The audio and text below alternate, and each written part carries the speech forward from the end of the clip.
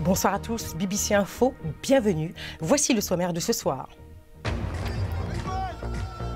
Au Liban, des manifestants antigouvernementaux se réjouissent de la démission du Premier ministre. Le secrétaire d'État américain exhorte les politiciens à former un nouveau gouvernement sans délai. Jour de souvenir au Burkina Faso, il y a cinq ans, Blaise Compaoré était chassé par une insurrection après 27 ans au pouvoir. Qu'est-ce qui a changé? Élément de réponse dans ce journal. Et enfin, nous visiterons un vieux village de 900 ans perché au sommet d'une montagne en Éthiopie. Au Liban, le président Michel Aoun a demandé au Premier ministre Saad Hariri de rester à la tête d'un gouvernement intérimaire. Saad Hariri lui a remis sa démission hier, après près de deux semaines de protestations nationales contre la corruption et les déboires économiques du pays.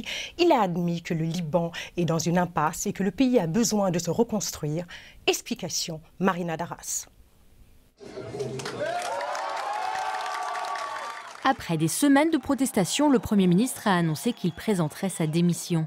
Saad Hariri a déclaré que son pays avait besoin de renouveau pour résoudre la crise qui a fédéré les différentes communautés libanaises, souvent en proie à la division sectaire. Je vais au palais pour présenter la démission du gouvernement au président et au peuple libanais, en réponse à la volonté de nombreux Libanais qui sont descendus dans la rue pour exiger des changements. Le Liban est accablé par une dette publique grandissante et la corruption chronique. Les manifestants exigent des changements. Ils réclament maintenant un gouvernement de transition avec des représentants indépendants pour que cette contestation ne soit pas vaine. La démission d'Hariri est le début de ce pourquoi nous travaillons. Ce n'est pas suffisant. Nous voulons plus que ça. Nous voulons continuer avec les étapes qui restent. La démission de Hariri est le premier pas vers l'édification d'un pays patriotique et démocratique. La première victoire de ce soulèvement a été remportée et nous devons maintenant commencer à planifier la deuxième victoire. Hier, les manifestations ont tourné à la violence lorsque des partisans des groupes chiites Hezbollah et Hamal ont attaqué les foules, obligeant l'armée à intervenir pour rétablir le calme. Entre-temps, l'Iran et les États-Unis ont exhorté les autorités libanaises de rétablir l'unité et l'équilibre dans le pays, jusqu'ici pôle de stabilité dans une région en proie au conflit meurtrier. Cinq ans après, qu'est-ce qui a changé au Burkina Faso? En ce jour souvenir au pays des hommes intègres, c'est ce que nous avons cherché à savoir. Souvenez-vous, il y a cinq ans, Blaise Compaoré était chassé par une insurrection après 27 ans de pouvoir sans partage. Un sujet signé Lamine Noureddine Konkobo. Pendant 27 ans, l'homme a régné sans partage sur le Burkina Faso. 27 ans de ce que l'opposition qualifie de crimes de sang et de crimes économiques. Près de trois décennies qui avaient fini par cimenter de Blaise Compaoré l'image d'un chef indéboulonnable. Et arriva le 30 octobre 2014, une manifestation monstre contre le projet de Compaoré de briguer un troisième mandat. La manifestation un point culminant de plusieurs semaines de marche. L'objectif initial était de forcer Blaise Compaoré à renoncer à ses intentions de rester au pouvoir. Mais au deuxième jour de la mobilisation, le 31, un changement radical. La rue ne veut plus rien d'autre que le départ pur et simple du président. Et contre toute attente, Blaise Compaoré, fatigué, annonce sa démission. L'euphorie du changement va vite tourner au cauchemar pour le pays des hommes intègres. Comme jamais auparavant, le Burkina Faso deviendra la cible de fondamentalistes qui livrent un djihad larvé dans le pays. Des attentats à Ouagadougou, la capitale, des attaques aujourd'hui presque quotidiennes dans le nord. En plus de cela, l'opposition continue de dénoncer un déficit de gouvernance, ce que rejette le gouvernement de l'actuel président, Rochmar Christian Caboret. Cinq ans donc après, Blaise Compaoré des problèmes, notamment l'insécurité, ce qui fait le lit de la nostalgie. 27 ans de stabilité politique, développement économique, des partenaires, des investissements, l'accompagnement de la jeunesse. Pendant 27 ans, nous n'avons pas connu le terrorisme ni le djihadisme.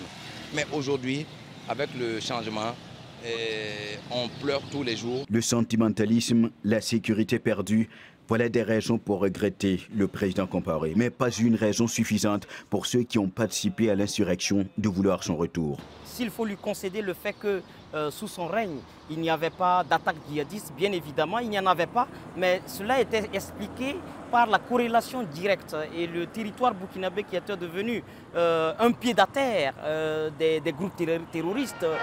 Au-delà des désaccords sur l'appréciation de l'ancien président, la majorité des Burkinabés est d'accord sur un fait. Cinq ans après l'insurrection, le pays des hommes intègres va mal. Et aura seulement raison celui qui trouvera une solution aux différentes crises, dont celle de l'insécurité. Le reste de l'actualité en bref et en images. Les députés britanniques ont finalement voté pour la tenue d'élections législatives anticipées le 12 décembre prochain. Cela fait suite au nouveau report du Brexit au 31 janvier 2020. Ces élections devraient sortir le pays de l'impasse parlementaire dans laquelle il se trouve faute de majorité claire entre les députés. Au Cameroun, le bilan de l'éboulement à Bafoussam est monté à plus de 40 morts, dont 26 enfants. Dans la nuit de lundi à mardi, une partie de la colline s'est effondrée à la suite de deux journées consécutives de précipitations torrentielles qui se sont ensuite déplacées vers d'autres pays d'Afrique centrale et le service de messagerie WhatsApp poursuit en justice une société de surveillance israélienne. Facebook, propriétaire de l'application, affirme que NSO a aidé à pirater des téléphones d'environ 1400 personnes, dont des diplomates, des militants et des journalistes dans 20 pays à travers le monde. NSO a fermement nié ces allégations. Au Mozambique, nous revenons sur le cyclone Idaï qui a détruit une grande partie du pays. En mars dernier, le président Philippe Nyusi, reconduit pour un mandat de 5 ans, va devoir prendre des mesures pour aider son pays à se reconstruire. Le cyclone de catégorie 4, qui a également touché le Zimbabwe et le Malawi, a fait plus de 1000 morts et 2 milliards de dollars de dégâts. Un récit de Marina Darras.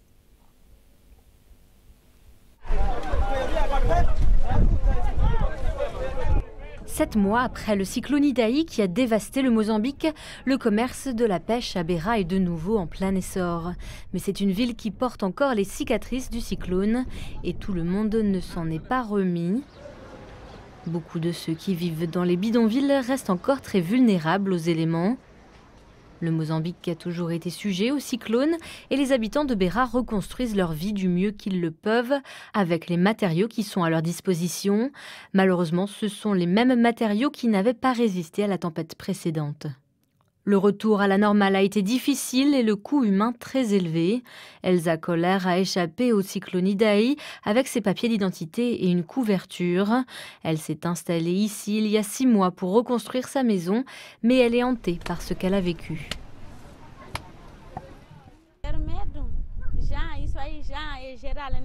Tout le monde a encore peur. Chaque fois que le vent souffle, mes enfants disent à ma mère que le cyclone est en train de revenir et de fuir mais je suis en train de reconstruire ma maison et ma vie petit à petit.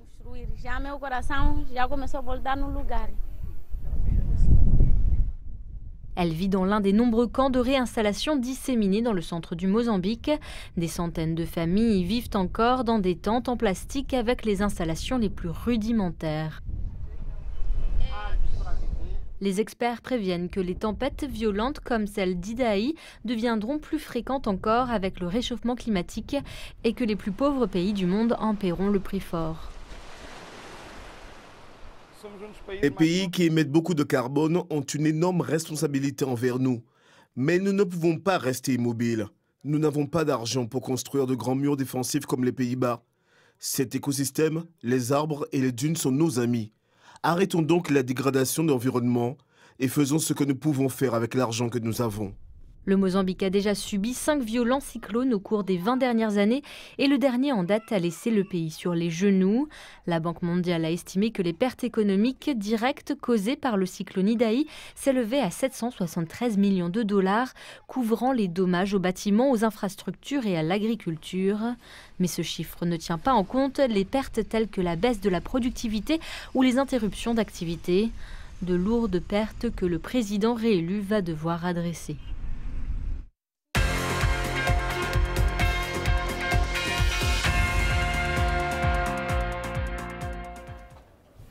C'est la page des sports avec Emmanuel Coste. Bonsoir Emmanuel. La Coupe du Monde de football des moins de 17 ans au Brésil continue avec le second match du Sénégal ce soir. Ce sera face aux Pays-Bas. Et une bonne occasion pour les Sénégalais en cas de victoire d'empocher leur billet pour les huitièmes de finale. Eux qui avaient battu les Américains lors de leur première sortie dans ce mondial 4 à 1. C'était euh, le week-end dernier. Donc en cas de victoire face aux Hollandais ce soir, il est certain que le Sénégal sera bien placé euh, pour se qualifier pour les huitièmes. Tout dépendra évidemment du match de, l'autre match de ce groupe entre le Japon et les États-Unis euh, la nuit prochaine. Alors, il faut savoir également qu'il y a déjà deux représentants africains en huitièmes de finale dans ce mondial U17 au Brésil, l'Angola et le Nigeria. L'Angola qui a débordé vraiment sur la fin hier le Canada de buts le, le but de la victoire et donc de la qualification pour les huitièmes marqués dans le temps additionnel. Et dans ce groupe, l'Angola est derrière le Brésil, mais les deux équipes sont d'ores et déjà qualifiées. Euh, pour le tour suivant, le Nigeria dans le groupe B, une nouvelle victoire, 3 à 2. Euh, c'était contre l'Équateur dans le match au sommet de la poule. Le Nigeria déjà qualifié avec 6 points. L'Équateur suit avec 3 euh, points. On passe maintenant à la Coupe de la Ligue, les huitièmes de finale en Angleterre avec trois gros matchs ce soir, trois chocs entre clubs de l'élite avec d'abord Liverpool-Arsenal à Anfield, Chelsea-Manchester United à Stamford Bridge et aussi Aston Villa euh, Middlesbrough, euh, Wolverhampton, pardon, euh, Wolverhampton qui évolue en première ligue, Middlesbrough est en deuxième division. Hier soir, se sont qualifiés pour les quarts de finale Manchester City qui a battu Southampton 3 1, Leicester qui est allé battre le club de troisième division de Burton Albion 3 1 aussi, et Everton qui s'est refait une petite santé morale en disposant de Watford 2 à 0. Enfin, la petite reine, le tour cycliste du Faso, sixième étape aujourd'hui entre Ouagadougou et Koudougou. Victoire d'un Néerlandais, Peter Marks. Et c'est toujours le Rwandais Moïse Mugisha, Claire, qui conserve le maillot jaune de leader. Merci Emmanuel. Partons à présent ensemble sur une montagne en Éthiopie à la rencontre de ceux qui vivent au sommet dans le village de Shonké. Ce sont les descendants des fondateurs de la colonie il y a 900 ans. Environ 20 générations plus tard, l'imam du village nous a fait visiter ce village ancestral. Cet ancien village est situé au sommet de la montagne Shonké, dans la région d'Amara, en Éthiopie.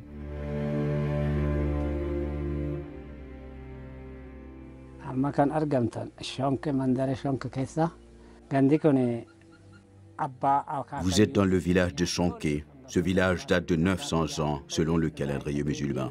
Nous pouvons compter plus de 20 générations qui ont vécu ici.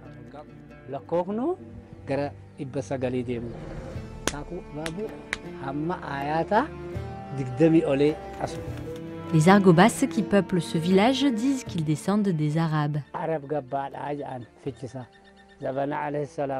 Le mot Argoba signifie que les Arabes sont venus. Quand le prophète Mohammed a commencé l'islam, il y a eu des affrontements. Ils en ont donc pris quelques-uns et les ont envoyés en Éthiopie.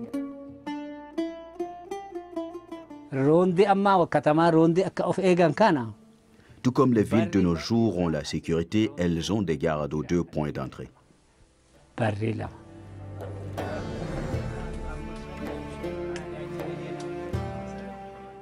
L'enseignement ici est l'ancienne méthode de l'islam. Le village a perdu près de la moitié de ses habitants ces dernières années et de nombreux villageois se sont installés dans des fermes à flanc de montagne. Avant, il y avait près de 500 familles.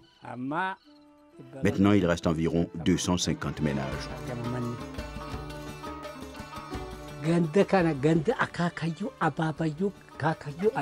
C'est le village de nos ancêtres. C'est pourquoi nous les chérissons. Et c'est difficile pour nous d'aller ailleurs. Nous préférons nos maisons qui sont construites en pierre locale. On n'aime pas ces villes brillantes.